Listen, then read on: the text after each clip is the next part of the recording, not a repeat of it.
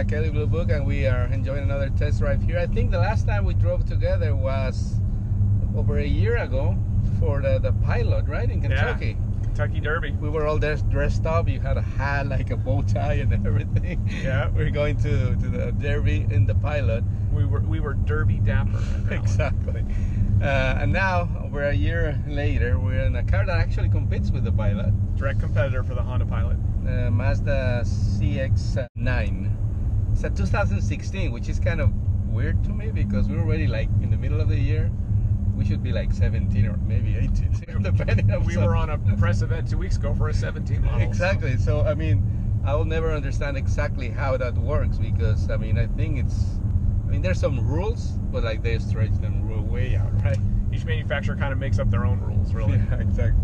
So 2016 Mazda CX-9, and this car very important for Mazda because uh, it completes uh, the full transition from the Ford years. Like when was that? Like almost 10 years ago when the the company was sold. Yeah, it was. Uh, yeah, like was it 07 or something? It was yeah, approaching a decade time. ago. Yeah. This is the last car that really needed a full redesign to take advantage of their Kodo exterior styling with that kind of surface tension that they talk about, yeah. And then all the Skyactiv drivetrain technology to improve fuel efficiency. So, and Mazda has been what three years in a row the most efficient car manufacturer in the in the industry, which is really amazing. Mm-hmm. Taking the fact that they don't have an electric, they don't have a hybrid, they don't have a diesel, right? And they have a sports car. I mean, it's right. a small one, but I mean. And it's really a fascinating. Skyactiv's kind of fascinating because instead of relying on one big piece of technology like hybrid, yeah. uh, hybrid drivetrain or an electric vehicle. It relies on a whole series of little things that yeah. add up to yeah. best fuel efficiency for a brand. Yeah, Dave um, uh, Coleman, right? Dave Coleman, yep. Coleman, the, one of the main engineers for Mazda. I mean, it's, it's really great at explaining really complicated things to people like me, so I can people like me can understand. And he was talking about how they take unconventional ways to tweak a little things here and there to get more power, more more efficiency in every little part of the engine. Yeah, and the drivetrain, uh, the transmission, the aerodynamics, everything contributes to their fuel yeah. efficiency. Uh, so effort. this one has a 2.5 Skyactiv engine. Seven. Yeah, 227 horsepower, 310 feet of, of torque, and then uh, 21 miles a gallon on the city, 27 on the highway, and average of 23 for a car this big. Yeah, it's not that bad. Yeah, yeah. I mean, it's a small engine, but they've tuned it to give you really good low end torque too, which is nice because a lot of times you have the small engine with the turbo that a lot of car companies are using to have better yeah. fuel efficiency, but you feel it when you drive the car. You can tell the car doesn't really go until you're at a certain RPM and you got to kind of floor it.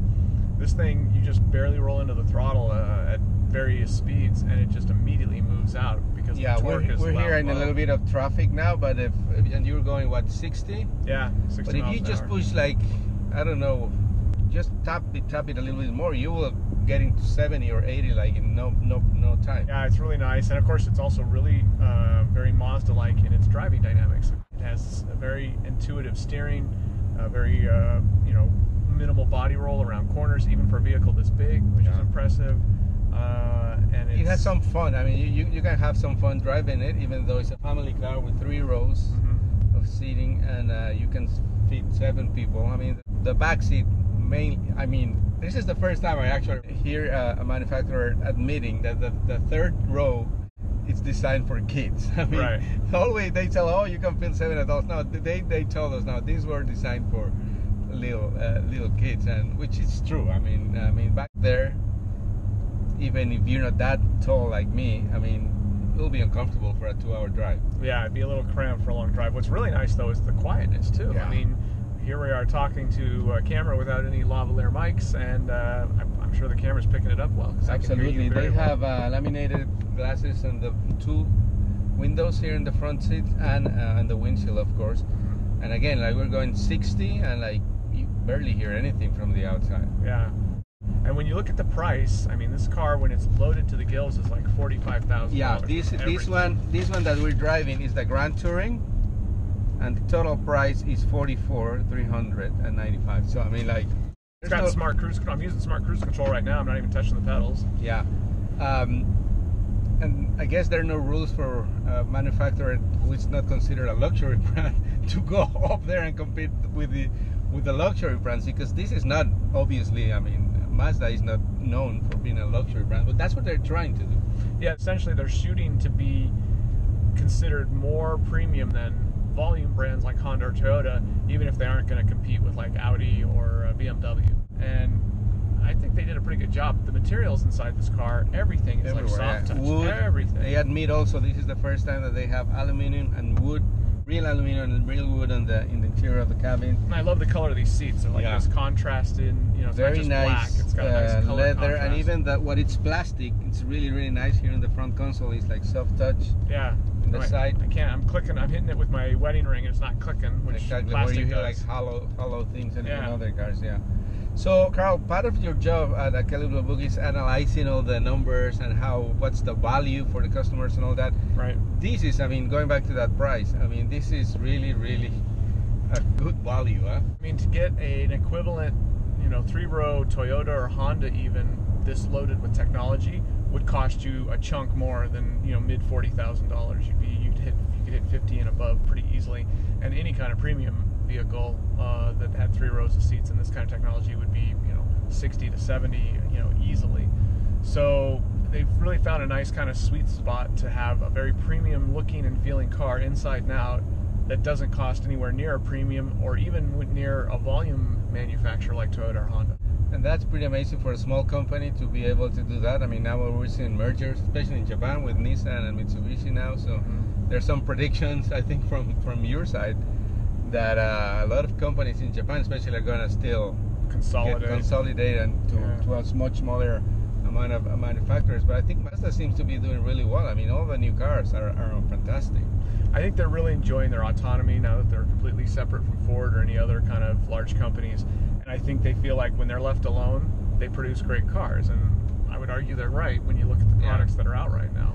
Pretty much the same case as uh, what happened with other former Ford uh, companies like, Like Aston Volvo Martin, Volvo, Jaguar. Land Rover, Jaguar. Everybody's They're all doing, doing great. really well. Ford is doing great too. Yeah. But uh, it's it's I mean it's amazing how how that has benefited everybody. I guess. So. Well, Ford just didn't have the resources to invest in all those premium brands Yeah. and its and itself, and it knew that, and it was wise to, to let the premium brands grow, go. It's kind of sad now because they do have the money, and I bet I you know. they, they bet. I'm sure they wish they still had control of brands like Volvo Well, and. Mazda Yeah. because they could have really you know invested in Aston them. Martin. Yeah, those are premium brands. Land, Land Rover and Jaguar. These are you know historic brands that Ford owned at one point, but they had to take care of their own house first. They you know, get their own house in order, so they had to let all the other brands go in the mid you know in the Yeah, whatever, very interesting how the, the automotive industry turns around. Like not in a very long time. I mean, because we're talking about only ten years. Yeah, yeah. No, in 2010, this things were still looking. Oh, there's my automatic brake control stopping me. How was it? I mean, we, It was fine. The car in front of us stopped, like not suddenly, but like kind of like we maybe weren't paying much attention. Yeah, well, it was getting ready for a left-hand turn, and I saw it slowing down. I wanted to see what the system would do, and it, Oh, okay. it braked. It, it slowed down without me having to worry about hitting the brake. So. So that's uh, another thing that people should consider. I think when they when they go to a dealership and start looking at these new technologies. I mean, this really work, and like especially that feature that like automatic braking.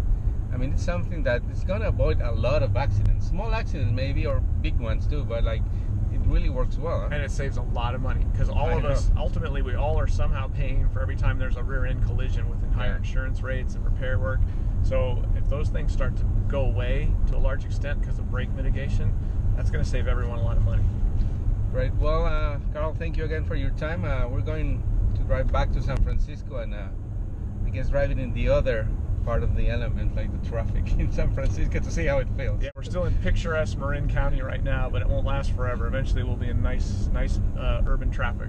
But that would be also, I mean, it's, it's interesting to, to drive in that kind of situation because, I mean, that's where most people drive the cars. that's where this will be driven yeah. And and again we drove in that coming out and it felt great there too. You don't have to go out to a twisty open road to enjoy this car it still has a smooth quiet ride even when you're in a city driving around which is where people will be driving the most of the time Exactly. Okay. Well, thank you, Karl, again, and uh, we'll see you soon. Maybe great hopefully you javier less than a year from now. yeah we'll see we don't wait another year this time Thank you.